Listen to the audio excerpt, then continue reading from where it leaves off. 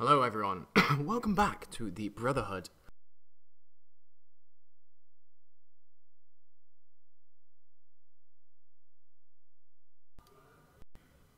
So we are at round three now. Um, on the right, we have a Madolche player, and on the left hand side, we have a, another Knight player. There's a big turnout of Tellarknights at this tournament, um, and one that is certainly an interesting one to see because it is also very nice. So, straight away, we start off with the Mewfeuille and go into the um, Messengelato to search out the ticket. So, he's playing that ticket and setting a face down and passing.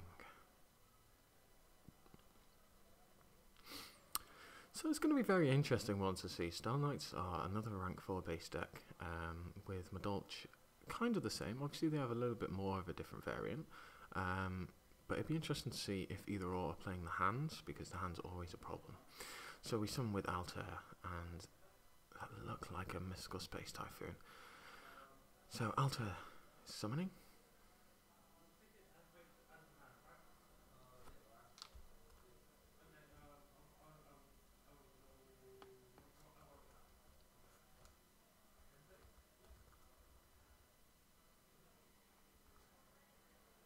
So he's just an MSTing, and what a huge hit that was. Hitting that solemn warning was very, very, very big.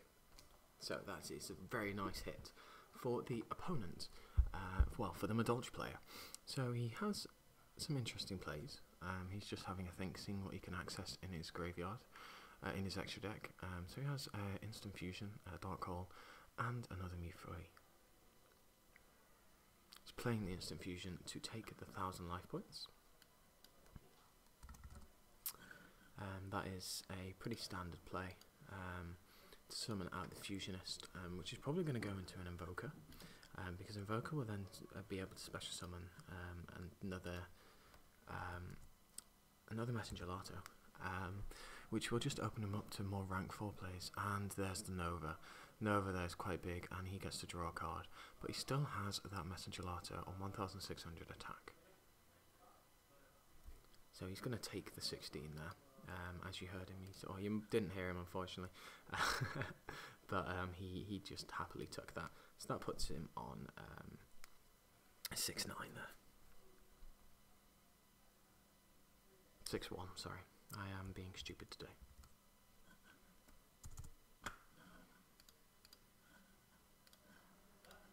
Uh, not 6-1 at all. Of course it isn't 6-1, because he's not boosted up by anything. So basically he is on um, Sorry, I am being very stupid there. So he's Phoenix Wind blasting it back to the deck. Um, and that's quite interesting because he's got Vega out. So, um, yeah, that's interesting. Mm, I wouldn't. Because he obviously is activating tickets effect, so he's got Angelly. Um, it's interesting. It's very interesting. So the Tellarknight player now, um, looking at his graveyard, um, as you can see, they're not exactly. Um, um they're not exactly, um, you know.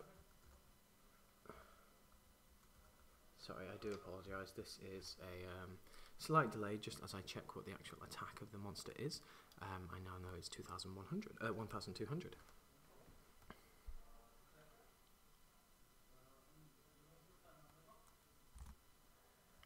So he's on 5,800 life points there.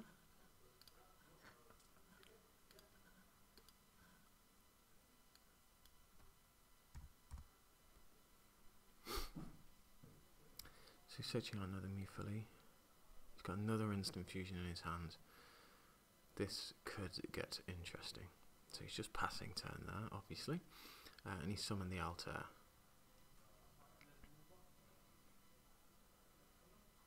So the Altair is going to summon that. Altair is a 1-7 beat stick. So he is going to take that. So 17, um, so he leaves him on 4-1.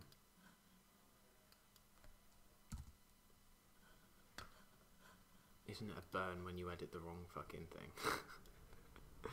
Very nice. So, he's going to overlay um, into any number of possibilities, really, um, because it's difficult to play against Madolche because they're just such a tricky deck at times, and even though some people might not actually like them, they are still a very tricky deck. And I feel that it's it's just a difficult decision, especially when they don't really have anything. Um, so he's going to go into Ragnazero. So that is in preparation for the chateau that may or may not come out. He doesn't have the chateau though, so that's quite a questionable play, if you do ask me myself. There are other options that he could have done. Um, looking at his deck list here, he um, he does have a lot of different things. Uh, he could use the Abyss Dweller, um, but obviously he might get run over if there is a chateau there. Um, he could have obviously used King of the Feral Imps as well, which is also in his uh, side deck, uh, his extra deck, um, to just get out of the Kage to Kage. But so now we have the Deneb, and the Deneb is going to attempt to activate its effect. And he's going to bottomless that. Um, let's see, so he does have a compulsory, and he has the wiretap. The wiretap sends it back to the deck. So that is a very interesting thing there. So we saw that he has the compulsory evacuation device face down. The, the Tellarknight does have that in his uh, at his disposal. Um, so he searches out the Altair.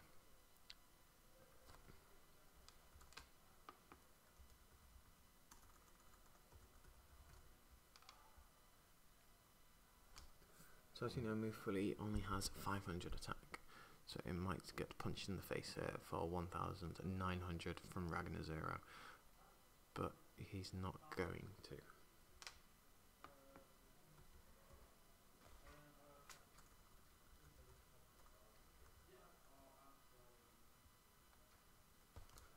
So he's taking um, a bit of a beating there, um, and I believe that he has 1,800 attack. Um, so into the Mewfeuille, that will be 1 of 5 damage.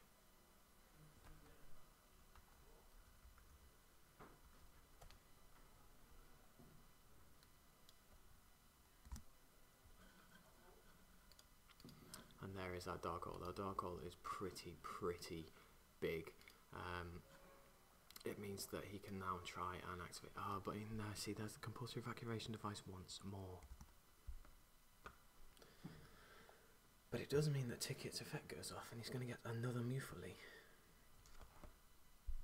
It's certainly interesting. So today we have seven rounds and then the top eight are also going to be uh, featured. So he's just passing that off there. And he has also drawn a Dark Hole of his own. So he's going to check in his graveyard. I didn't catch uh, anything else in his hand.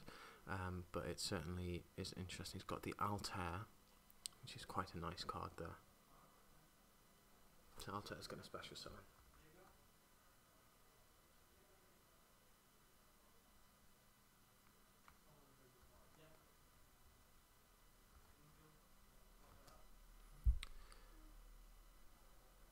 I this could possibly be interesting because he's going to try and attack here for game because he has enough life points on board to kill him.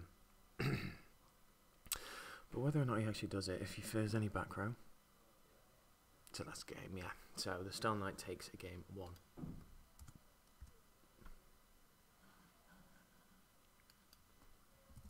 So it's a pretty pretty basic game, game one.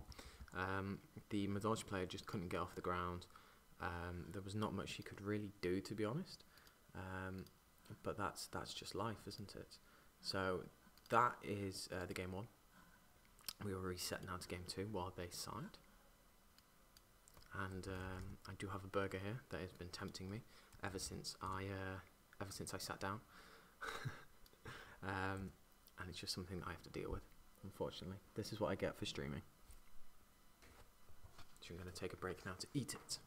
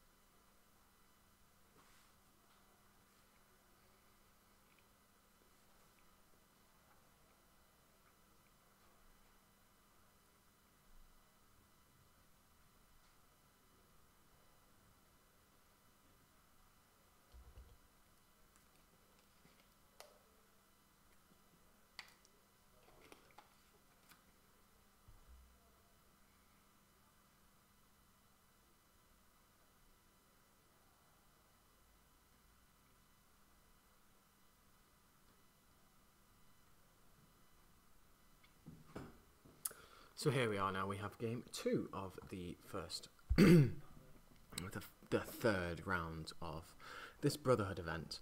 Um, it is slightly annoying me. The camera is offset. Oh dear, oh dear. So if we look at the Tellarknight's hand, we have a reinforcements of the army, a wiretap. I think that was also a fiendish chain.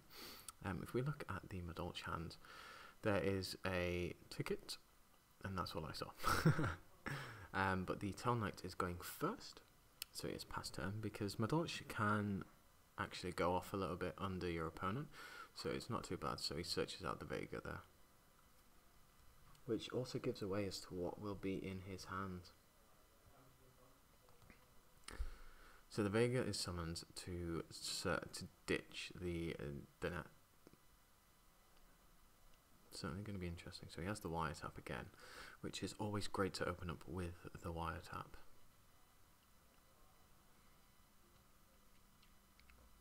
And he has three back row, one of which we know of. And he drew an MST. And He has five back row, wow. So there might be an MST here. No, there is a haunter for the Deneb, so that is quite interesting. So he's now going to search out a card.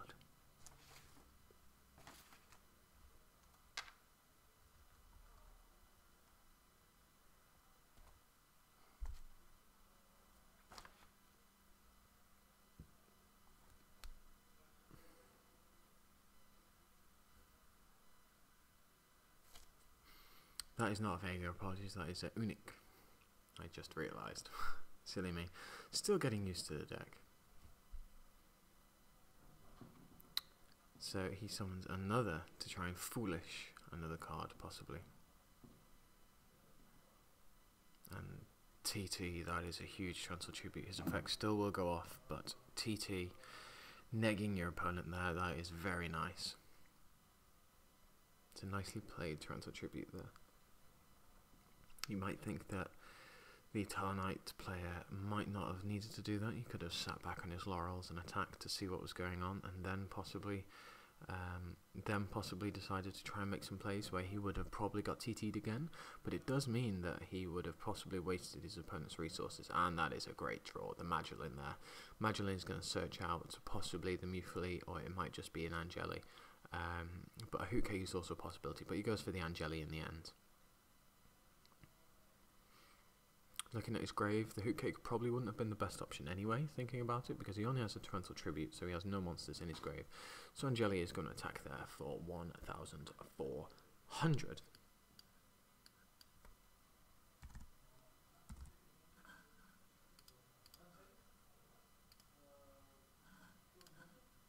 So he's going to call the Haunted in the end phase of his opponent's turn.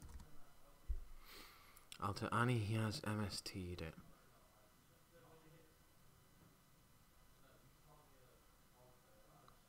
So they're just talking about how it works. At first, the way that it'll he's trying to wiretap a spell card. That is interesting. There, that is a unfortunate thing. But he's also now given away that he has a wiretap face down.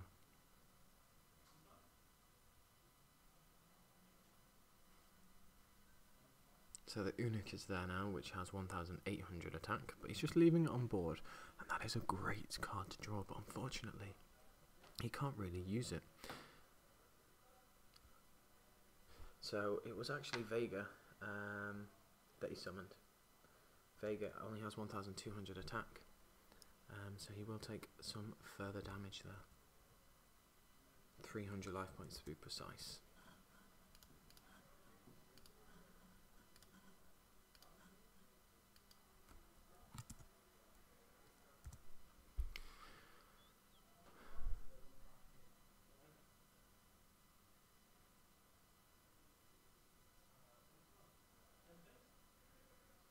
That's another call on the haunted. He's really, really wanting to get this Altair effect up. And he max sees. So he's going to draw two there, which is very nice for his opponent, for the Madolche player. And his effect to search out as well. Can he maybe activate anything here in the end phase to break through there? But he's he's going to activate the wiretap. He has completely tricked him because now we know that the Madolche player actually has a light imprisoning mirror face down um, and that's huge. Um, the chances are of that other one being a wiretap is quite low. Um, He does play the two wiretap, but I just don't think it's going to help him.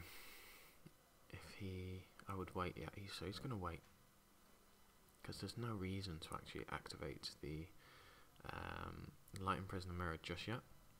But as we speak, he might activate it. So he's thinking about exceed, making an exceed play. There are a lot of different things you can use, um,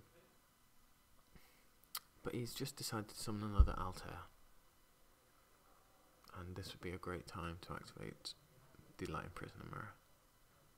There it is. And he has the Alpha to deal with the Light Imprisoning Mirror. And he also gets to draw a card. The Alpha is a great, great card.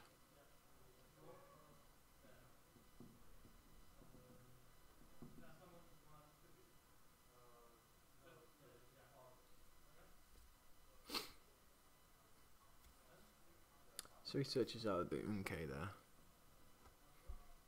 Ditches the burn bitch, which is Alsahm. So he's possibly thinking about burning his opponent. Um, the Madolche player hasn't actually taken any life points whatsoever, any damage, but I do believe he's probably going to at this moment in time. So he's going to take 200 there.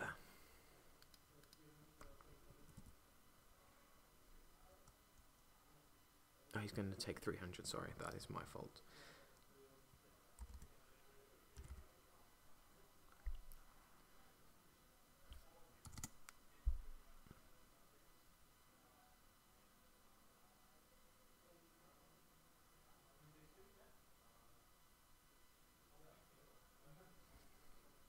So I believe he did take another 17 attack.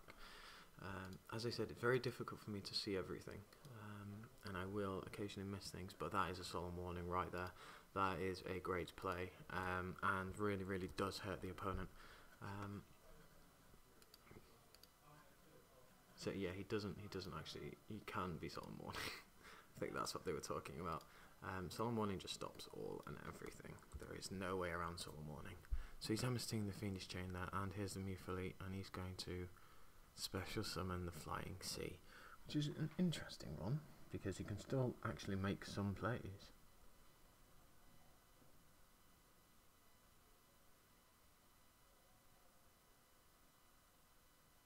So he's going for the Hootcake. The, the Hootcake effect is going to kick in to banish the possible Angelly. Yes, the Angelly to special summon, which is no doubt going to be Messengelato. Messenger Lato is going to activate its effect to search out the, the uh, chateau, and the chateau is going to be there activated. I don't believe there are any spell um, players in the grave, so I won't shuffle anything back, but this is going to hurt.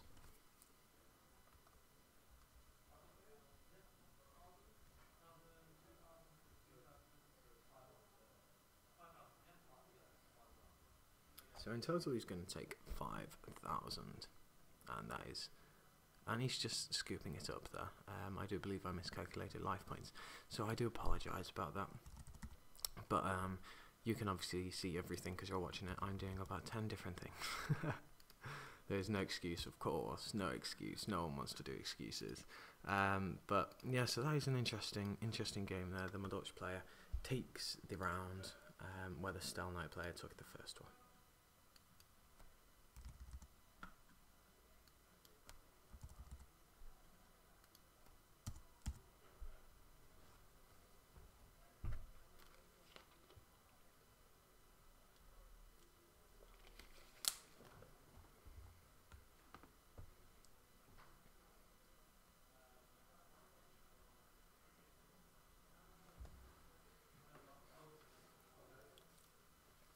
So, this is round three, the final round of this game. The game is round three. So we open up with the Madolche player going first, searching with the Angelly. It's quite a nice, um, quite a nice opening. Um, and he's going to go into the Hootcake. The Hootcake will then activate his effect to banish the Angelly. Uh, as you can see, the Starlight player has Nova, Honest, Altair, and two Altairs, and then I can't see what the other one is. So this is going to search out probably a chateau or a ticket. Ticket.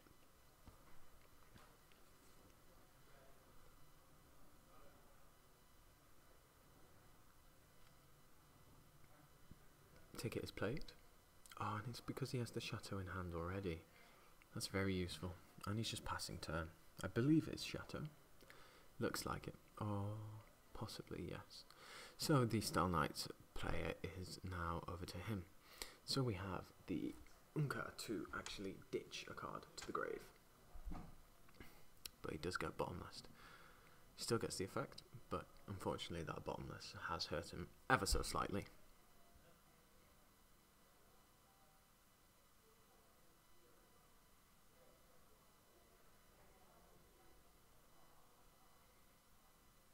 So we are 21 minutes into this round. He's going to set the alpha, which is unfortunately at this point a bluff. Um, but he is going to switch into attack. He's going to activate the Chateau. So they are now on 2000. So that is 6100 damage on board.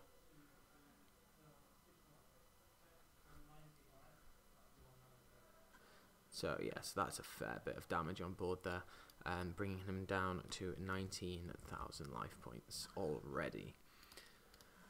This could be a long game for the uh, Knight player. There's not much that he can do in this moment in time. His hand isn't too awful, um, but the ticket effect has come in with the Angelly, um, which a lot of people do forget about. But it's worked out perfectly for the Madolche player.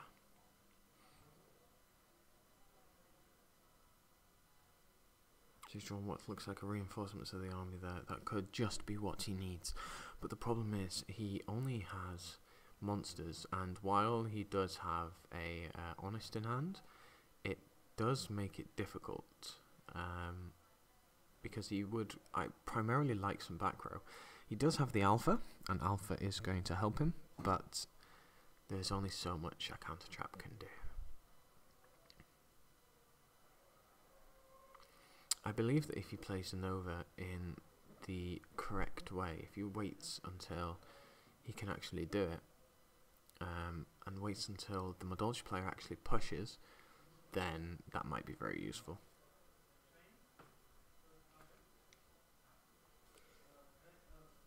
So here we have Vega to special summon Altair. He also activated um, Takagi and the opponent has dropped Maxi, which is going to make his hand very, very beefy and very nice.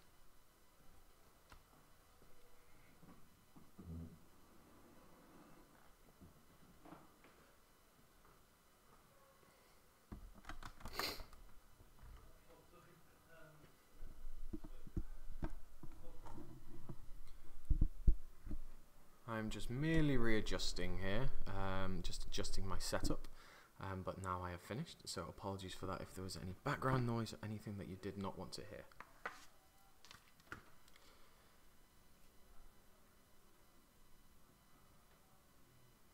So as you can see, the uh, the Tellarknight player is making a fair few plays there. Um, unfortunately, my graphic is blocking out what he is doing. So there you go. So it's a Deb, uh, Deneb. Deneb is overlaid with Kage, um, which is going to bring out. There's quite a few that you can bring out. Um, it's, it's just ah, so he's going for Delteros. Delteros is the choice. So that is Stell Knight Delteros there, guys. Um, and Delteros does, and he, ah, he drew the black horn a bit too late. But Delteros um, is a very, very good card, um, and it means that there are going to be so many of his monsters now he can't respond to any of the uh, summons, which is going to be very difficult for the Madolche player to actually get around. However, it's not that much of an issue right now. So they're going to attack. The Madolche player takes the first damage of the game, um, by which he takes 200.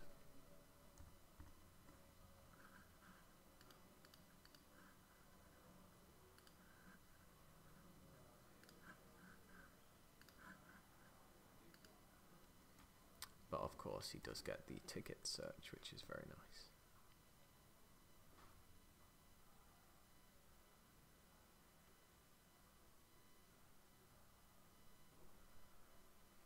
So it's now the Madolche player's turn. He has a lot of different, a lot of different plays that he can make, um, and he's going to start off with the Mewfeuille, but he's going to be instantly stopped And he's tributing the Delteros.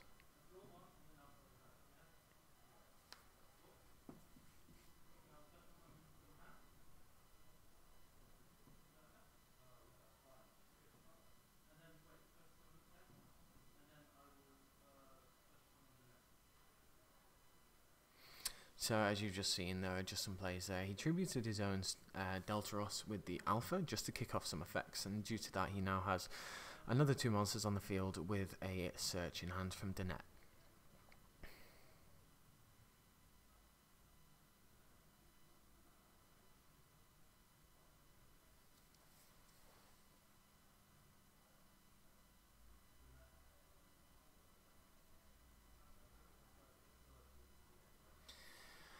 So you gotta think, what can the Madolche player do? He has a very monster-heavy hand, unfortunately, um, and one that might bite him in the ass. I'm trying to work out what that trap is. Oh, it's the Blackhorn, um, which is still a great card, but unfortunately is now open to a assault. And this is where the Tellarknight player should possibly go all in here because there isn't much to lose at this point. He has 1,900 life points in game 3, so the opponent's 7,800. He needs to really get in there and really take some damage out of his opponent. He does have two back row. We know what one of them is. The lowest down on the screen is the Black Horn of Heaven, but we don't unfortunately know what the other one is.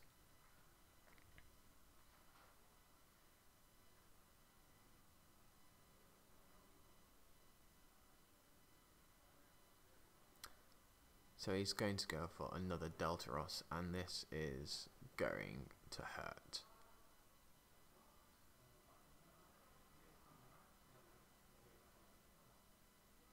So that hurt there. I personally would have attacked first, but there's not much that can be said and done about that.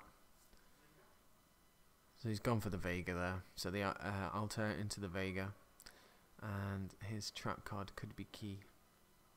Deneb is going to search. Now the question is, does he play three Delteros? And my answer to that is no, because I have his deck list. so he doesn't have three Delteros, he has two. He has a Ghost and a Secret by the looks of it as well.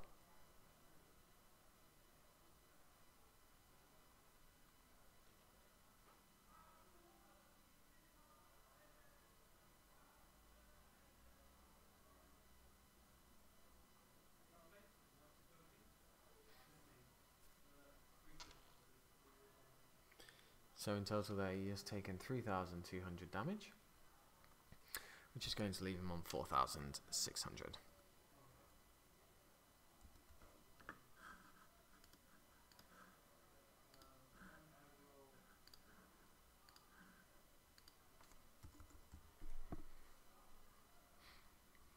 So again, there are a lot of different options he can make. Um, he's looking at the Castel, but I don't think that would be the best one. Personally, I would quite like um, Constellar Omega could be a very interesting card to play against him. Um, but at the end of the day, it's a very difficult choice, mainly because Madolche, he, ha- he knows that he has a lot of cards in his hand um, because he played under the Max C, and um, he needs to think what's going to be the best thing to deal with all these Madolche monsters that are going to come out next turn. So he could take a risk and not do anything. So there's the risk. So leaving more monsters on board means that he is um, keeping the... Ah, so there we go, we have the Maxi. I believe that could be a Nova face down, uh, Alpha, sorry, face down. Um, um, in which case he is leaving it open there. So he special summons the Mewfeuille, uh, special, uses Mewfeuille's effect to special summon the uh, Messengelato, who's going to get out the Chateau, and Chateau is going to activate, that's going to return everything to the deck.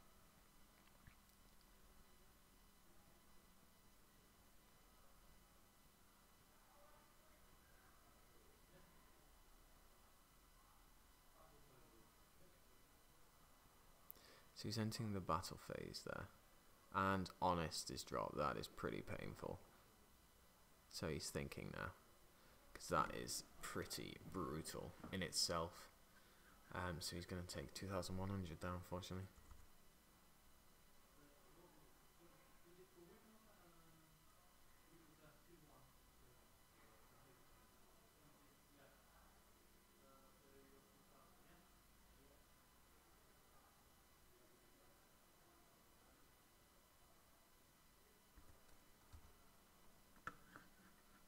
So they were just working out the life points there.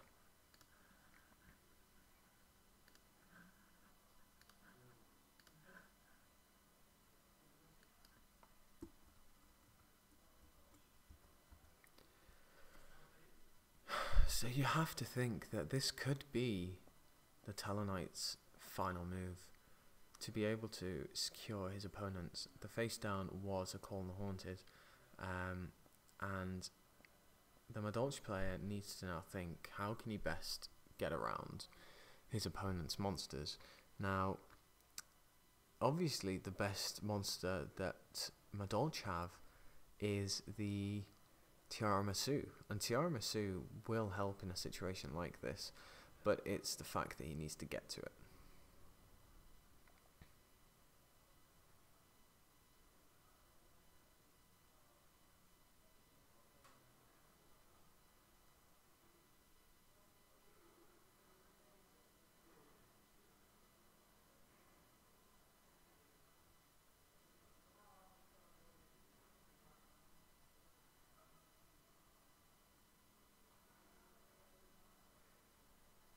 So it does look like he's going to go for that Constellar Omega there. Is there anything he can respond with? I don't think there is. So the Constellar Omega is locking him out with two back row. He's activating the effect. He's going to overlay again. For Heartlandraco.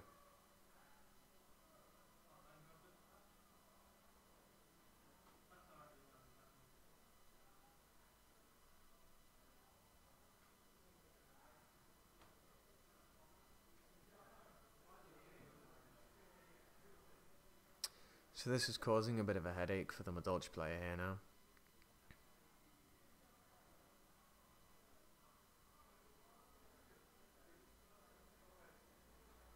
So he's now going to break through skill in because that would be game on board.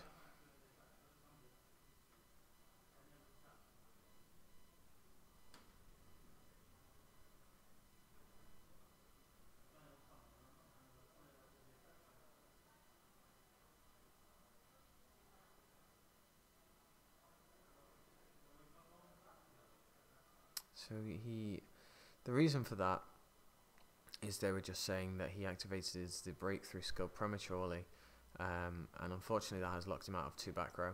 So this doesn't look good, unfortunately, for the Madolche player. I do believe that this is probably going to be game. Um, the Madolche player is just sat there and he's about to throw down his hand. So there we go. So the Madolche player couldn't do anything there. Unfortunately, there was a misplay at the end of the duel.